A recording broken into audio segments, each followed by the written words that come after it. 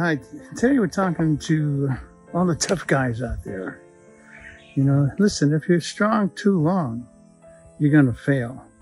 A lot of guys, they just have too much testosterone, if you will.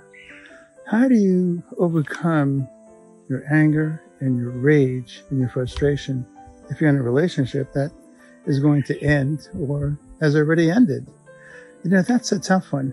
You know, a lot of it depends on when you were raised, how you were raised, depends on your economic, educational, and cultural environment. You know, what happened to you as a child kind of uh, look uh, affects you today. I mean, there's no getting around that. So, but when you look at your friends, you know, where are they? Who are they? Are they drugged up, dropped out, broke, in jail? You know, and where are you? You know, what, what do you want to do for yourself? There is no easy way to avoid pain. We're human beings, so we all going to suffer pain. But how do we process our pain? How do we overcome our pain? What's the strategy? What, what's the plan? Well, it's, it's a little different for everybody, but the first step is to find your triggers. What triggers your pain? What triggers your frustration? And then work on those triggers. You kind of strengthen up a little bit here.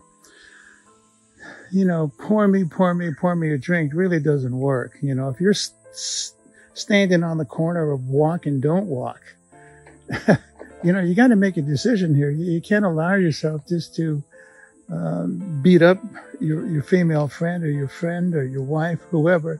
That's not the way to go, man. I mean, it's just, if you take, let's say, pleasure in hurting your mate, you need help. I mean, you, you, you definitely need to get to a shrink and get shrunk. That's, that's the bottom line. So nobody's too tough to feel pain. We all feel pain. It doesn't matter how tough you are.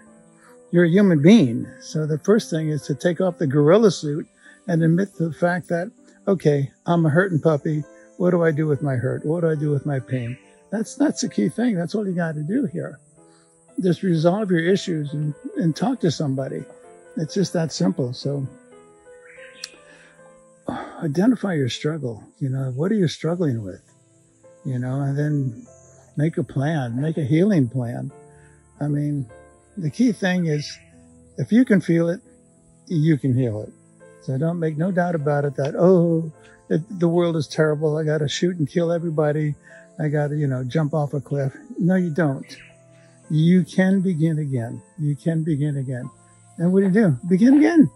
My gosh. Difficult, painful, doable. Just do it.